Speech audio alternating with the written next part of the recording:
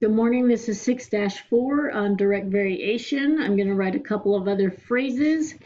Varies directly or directly varies. You're going to run into these phrases. It's all the same thing. A direct variation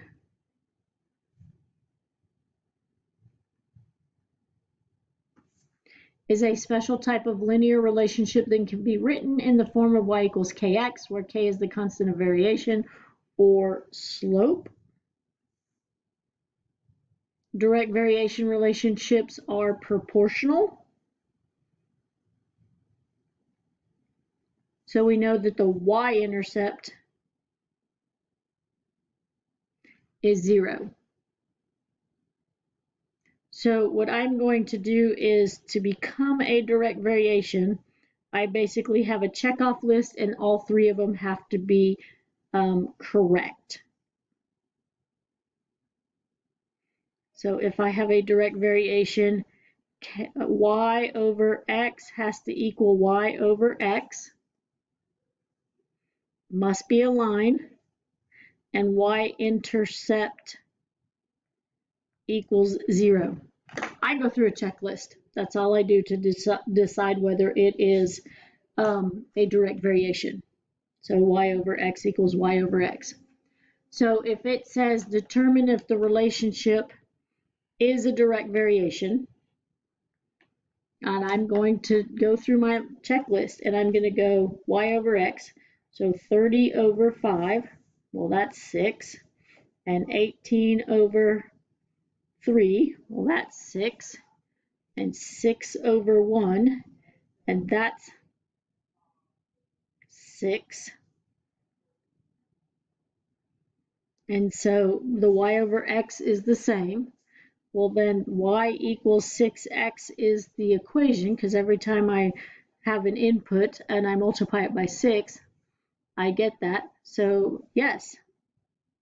And you have a plus 0 right here, so yes. So the other thing is, is a direct variation, if you have y equals 3x plus 5, because you have this, you know that the y-intercept isn't 0, so that's not. But if you have y equals 7x, that is a direct variation. Okay? So if I do this, I do y over x. This is the easiest one to check. And I go 0 over negative 3. Well, that's 0. And I do 3 over 1. That's 3. These are not matching, so that automatically is a no.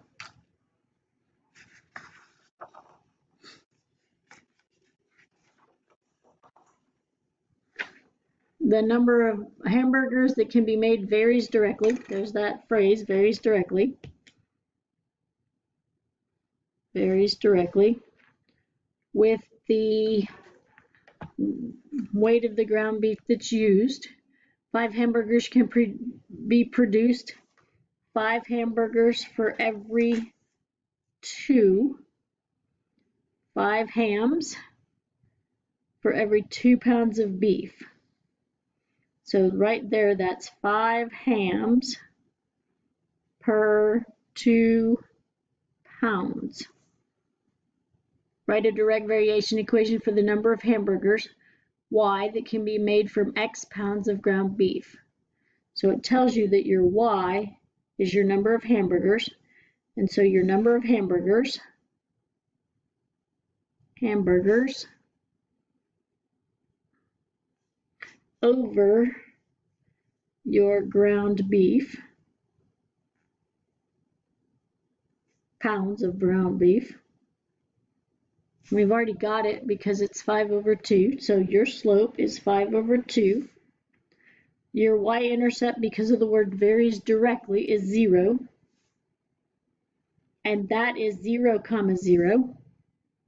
And all x-intercepts are a number comma 0.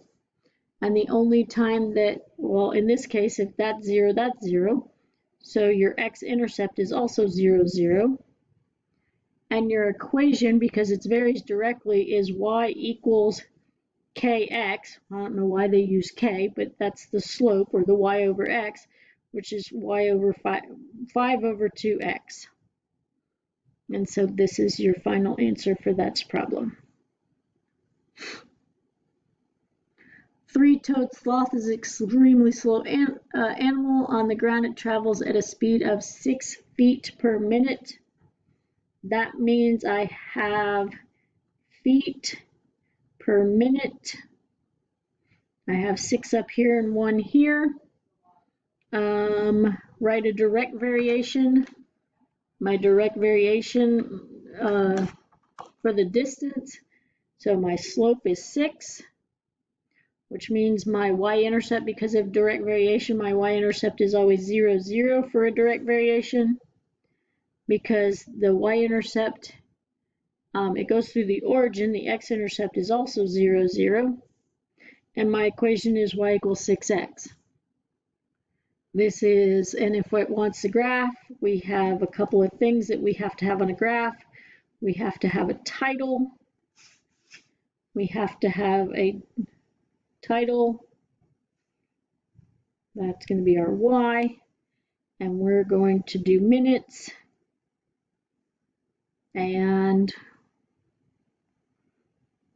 we have to have a scale. One, two, three, four, five, six. And a scale. And I have this going through the origin. Up six, right one. 7, 8, 9, 10, 11, 12, 1. And so it is a direct variation. So varies directly, y over x equals y over x. It is going through the origin, and it must be a line.